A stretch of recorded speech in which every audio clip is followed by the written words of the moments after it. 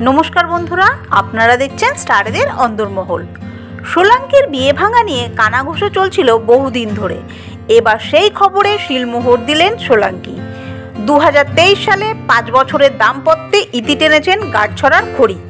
এক সাক্ষাৎকারে সেই খবরে শিলমোহর দিলেন সোলাঙ্কি। বললেন হ্যাঁ আমি ডিভোর্সি, আর এটা কোনো সমালোচনা করার বিষয় নয়।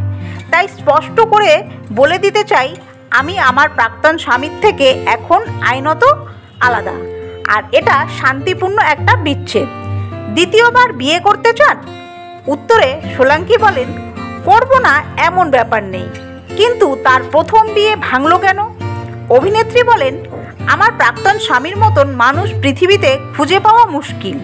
ও একজন অসাধারণ মানুষ। আমি মন থেকে বিশ্বাস করি। কিন্তু অনেক সময় দুজন মানুষ খুব ভালো হলেও তারা ওই সময় একসঙ্গে থাকার জন্য ঠিক চয়েস নয়। সেটাই আমার সাথে হয়েছে। ও আমার স্কুল জীবনের বন্ধু ছিল। দু হাজার আঠারো সালে বিয়ে করি আমরা। ছোট ছিলাম বলে আবেগের বশে সিদ্ধান্ত নিয়েছিলাম।